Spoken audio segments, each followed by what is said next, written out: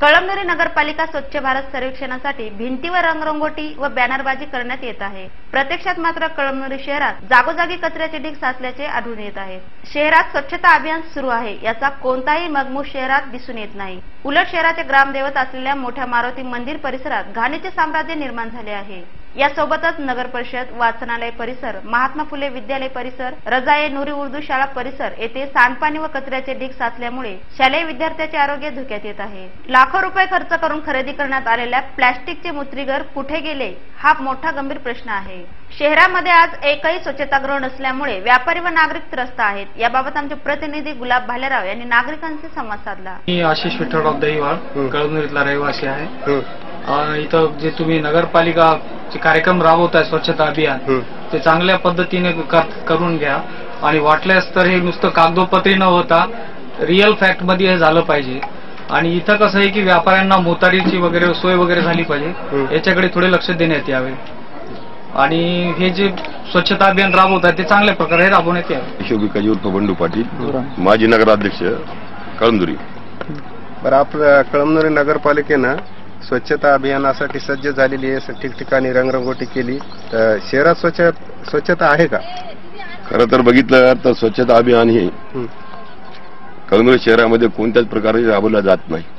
फक्त रंगरंगोटी करणं समोर समोरच्या भागाला प्रसिद्धी माध्यम देणं खऱ्या अर्थानं कळमनुरी शहरामध्ये आज या टाइमला सुद्धा आपण जर बघितलं सर्व चारी दिशेने कळमनुरीच्या तर कोणत्याही प्रकारची स्वच्छता नाही.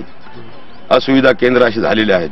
आज या ठिकाणी सांडोस रोडवर मारुती मंदिर जे कळमनुरीवासियांचं दैवत आहे याच्या परिसरामध्ये ते एवढ्या मोठ्या प्रमाणात घाण आहे. त्याची लोकाला जाते वेळेस तोंडावर पट्टी ठेवून सुद्धा जावं लागतं. या ठिकाणी स्वच्छता अभियान स्वच्छता अभियान हे जे वावा करत आहेत व ज्या ठिकाणी गावातील घाण निघते ती संपूर्ण रोडच्या काठानं ट्रॅक्टरद्वारे टाकल्या जाते. खरं तर बघितलं तर घाण कचरा तर याच्यासाठी पावदी गायरांमध्ये फार मोठ्या प्रमाणात मान्य जिल्हाधिकाऱ्यांनी कचरा टाकण्यासाठी जागा दिलेली आहे. पण त्याचा उपयोग न करता मनमानी त्या ठिकाणी कोणत्या शेतामध्ये कोणत्या रोडला हा घाण कचरा उचलत आहेत. आपण जुन्या बटावून जरी गेले या मुंडोड रोडला त्या ठिकाणी सुद्धा घाण कचरा फार मोठ्या प्रमाणात झालेला आहे. या भीमनगरच्या समोरच्या भागाला आपण जा जे काय आता पथक वगैरे येऊन जातात त्यांनी स्वतःहून कर्मचाऱ्याच्या भरोशावर न जाता अचानकच कळमुरीच्या चारही दिशेला भेट द्यावी. त्यानंतर त्यांना माहीत होईल की कळमुरीमध्ये किती घाण पसरलेलं आहे. बरं घाण कचरा व्यवस्थापनासाठी शासनानं कोट्यावधी रुपये खर्च केलेला आहे. तर तिकडे हे कचरा का टाकत नाही असं? नाही हे या ठिकाणी त्यांच्या नगरपरिषदेच्या चुका आहेत. वारंवार लोक सांगतात कोणी लक्ष देत नाही.